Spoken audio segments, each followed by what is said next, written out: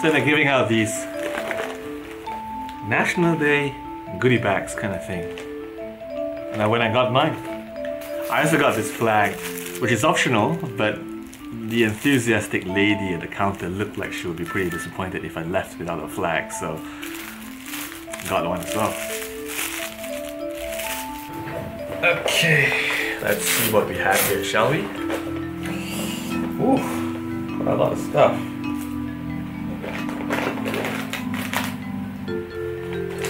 Old Chang Kee Curry Puff flavored potato chips.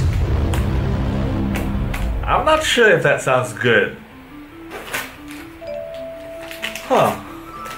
What in the... Not one, not two, not even three, five new reusable face masks. I guess these packs are meant for, you know, you get one pack per household. So I guess they were preparing for people that have five people in the family. This is why I feel bad about, you know, getting this stuff, you know, because I'm the only one over here and now I've got five face masks. I'll save some for my exile housemate, I guess. I've got some disposable ones as well. How many are these? Four disposable face masks. I have about 50 that's still in stock, so. Hand sanitizers. Don't exactly use this a lot, but appreciate the thought.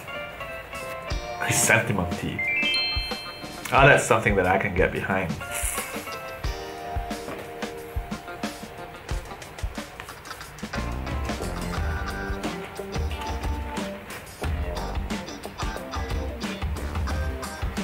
Not the best quality. It's like half mast now, which is not a good sign, but it's kind of nice, I guess. I don't know what this is. It says Dear Singapore, so I guess you know you could submit some kind of a message. But some nice stickers that you could, I don't know, stick somewhere, I guess. And this, this is nice. They're actually giving out thermometers. This is actually practical stuff. So, oral, rectal, or underarm. Just FYI. Appreciate this. Yeah, what's this?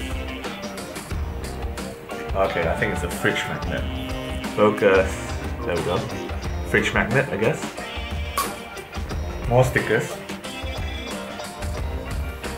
And that's about it. Even the bag is of pretty decent quality, so I may be able to find some use for it. Gotta say, this is kind of nice.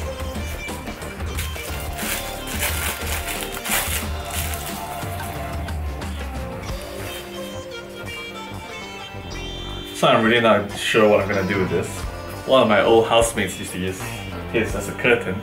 This seems too large to be used even for that purpose because my, my window is this size and this is... Maybe I'll just hang it, you know, outside the balcony the material is kind of not bad, I'd say.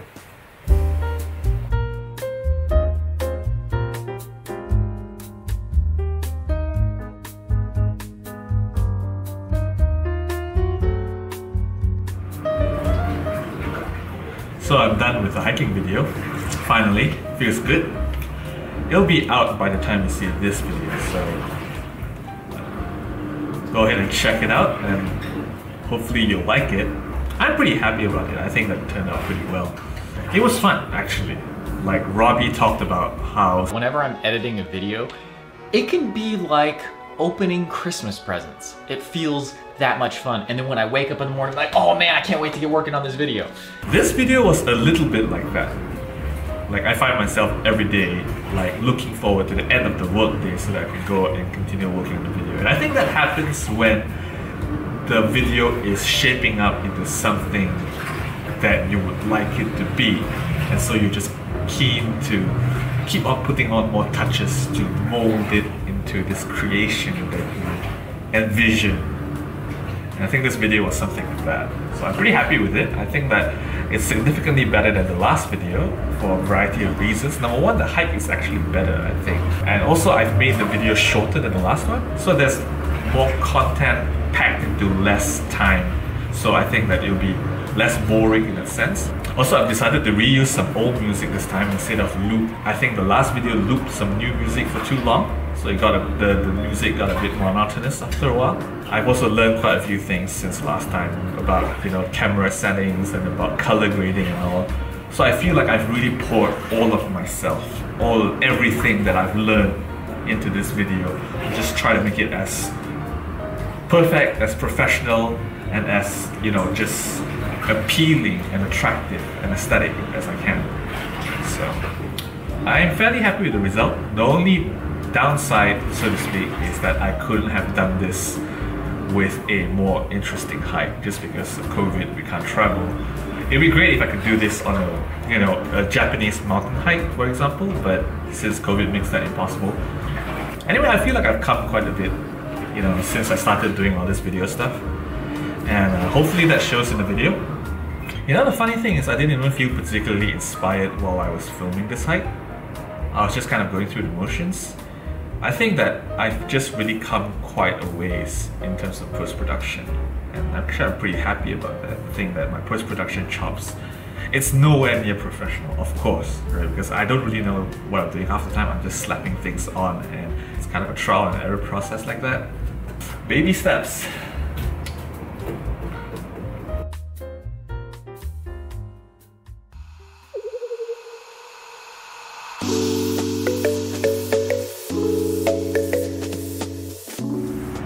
So you remember that flag that I got from the enthusiastic lady the other day? Well, my friend was saying that he would like to have it, so I'm just gonna go and pass it to him. By the way, you may have noticed this mask. This is one of the new masks that came in the pack. I gotta say, it, look pretty, it looks pretty good. It's got a nice swanky little logo over the side there. Pretty nice.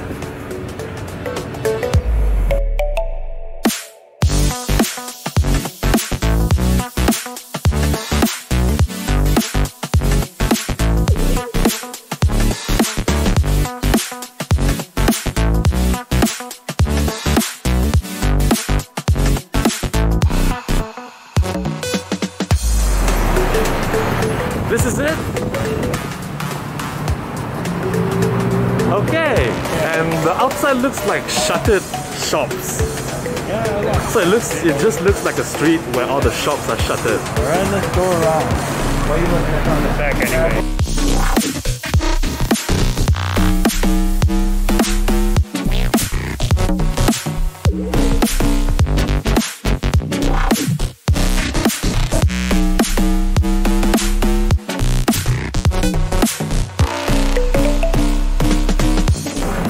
Went to Sim Lim. I went to Sim Lim, but then apparently we're going to Bugis to eat because he already got his computer. So I went there for nothing.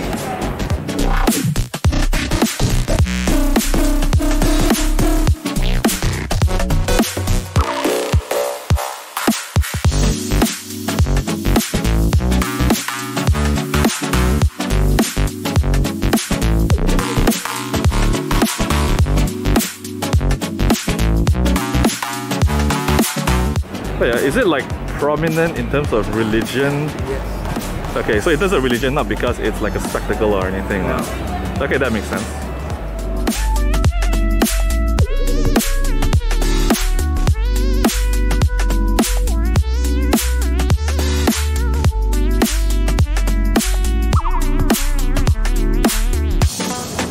Tell them what it is, right? It's not that old actually, it's 1884.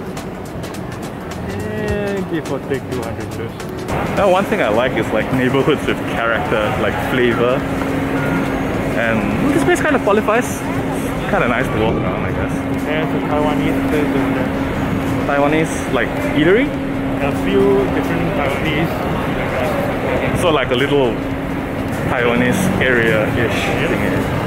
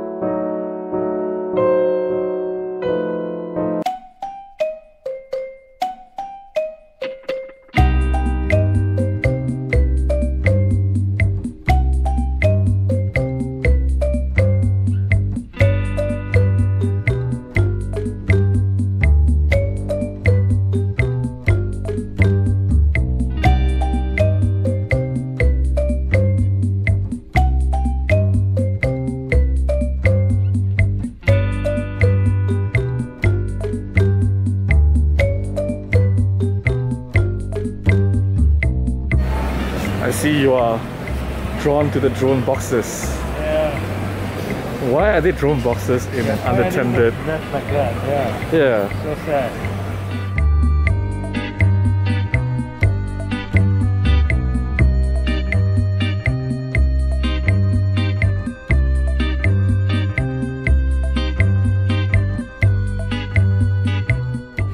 This is like a very, a very quiet uh, Nakano Broadway.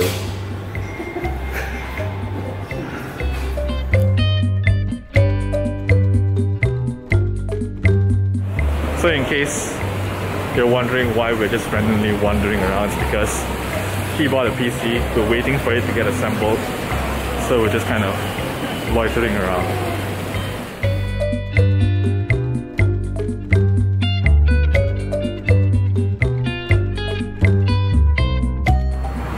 It's only 390 I suppose. For 200 grams, that's actually that's actually not too bad.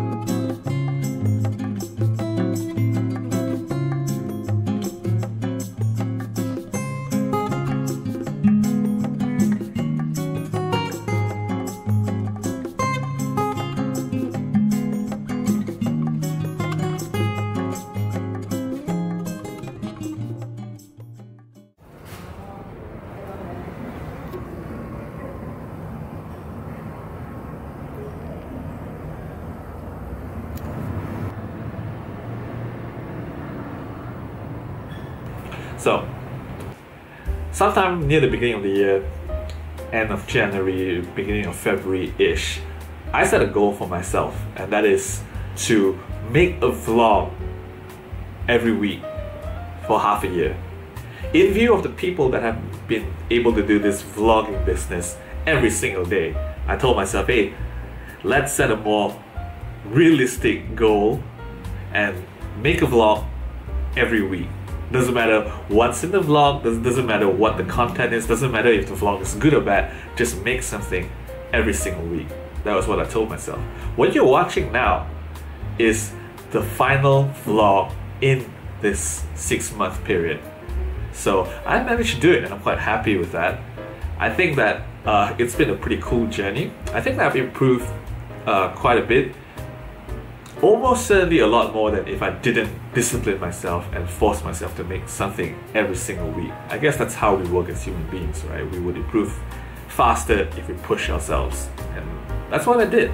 I think that, you know, if one takes a look at the stuff that I was producing in, near the beginning of the year, around the time where I first got this camera, and compared it with the stuff, you know, the vlogs of these past few weeks, I think that you'll be able to see a marked difference.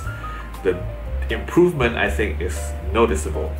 And not just in terms of camera technique and color grading and all that stuff that, you know, that I actually know something about now. I think that this exercise of talking to the camera has also come some way, right? I think that at least when I went back and watched, you know, my very first attempts to actually talk to the camera, it was I could tell it was extremely difficult. It was awkward, it was cringy. I'm not saying that I'm doing it well now. I feel like I still have some ways to go there. The thoughts don't quite t- translate into words quite the way I want them. But I think that, you know, it has come quite a long way. There is some semblance of a process for me to, you know, just express myself in front of the camera. And that's also an ongoing uh, work in progress, I guess. So, what happens from here on out? The main thing is that I'll be dissolving the requirement to produce a vlog every single week. I will be only vlogging whenever I think that there's something vlog worthy, whenever I feel like doing a vlog, whenever something happens that I think, you know, is worth recording. So immediately what that probably would mean is that the vlog will take a pause because I'll probably, you know, unwind a bit and kind of take a break. But I don't foresee it being too long there are a few things that are most likely going to happen in my life soon that I'm most likely going to vlog. For example, when I actually manage to leave Singapore and get back to KL, I'll probably vlog that process. I'll probably produce at least one vlog in my home in KL just for the sake of it. But the point is that uh, it won't be forced anymore for the time being. I'll just do it in my own time and according to how I would like to do it. So in parallel with this resolution to one vlog per week for half a year was another resolution where I wanted to produce a hiking video once a month for the duration of this year.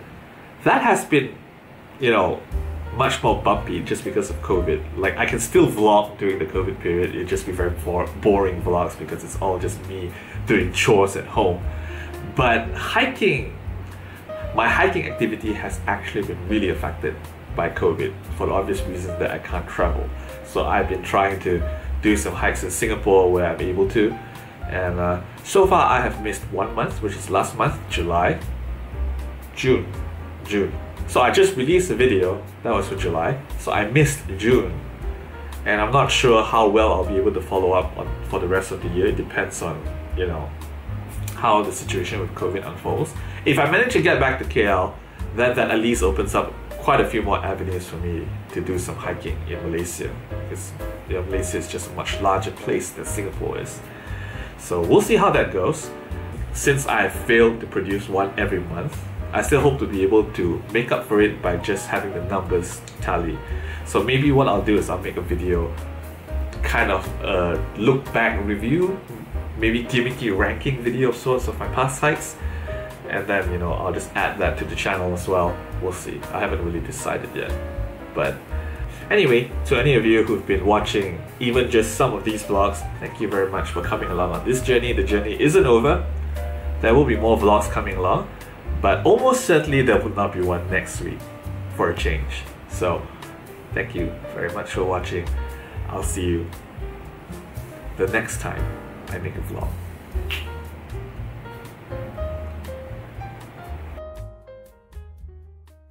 Know, the other somewhat more sinister side effect of all this vlogging business has been that I've been getting further and further in the know with all this uh, camera stuff poison. And it's poison because camera stuff is incredibly expensive.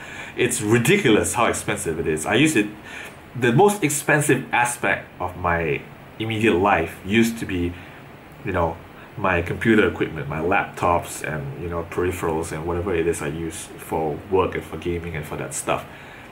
Camera stuff is a lot more expensive. It's crazy. Like this camera, this camera is is a five-year-old camera and it's nowhere near top of the line. It's a point and shoot. It's not even a SLR. It doesn't even do interchangeable lenses.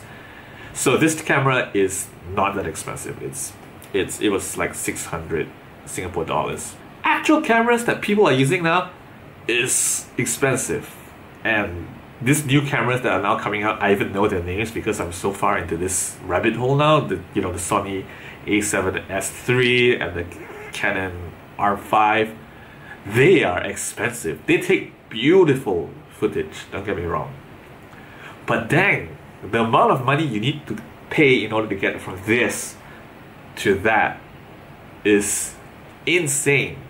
I'm still pretty satisfied with this camera. There are a few things that I'm starting to have gripes about this camera, especially the slow motion performance because it, this thing takes slow mo at 720p and YouTube doesn't even consider that HD anymore. So price tags is a strong deterrent. So I'm most likely going to stick with this for a significant near future, but who knows where we'll go from here. But yeah, it's kind of bad that I can actually start appreciating the quality changes when you as you go up the camera ladder now. Right, this is a huge improvement from my camera, um, from my phone camera. I can now appreciate what this cannot do and what those other cameras can, and this one can do a fair bit already. So there's still a lot for me to learn here, I'm sure. So I'll be happy to stick with this for a while. But dang, those things now constitute genuine temptations to me. So, it's a scary thought. Why do cameras have to be so expensive, man? Jeez.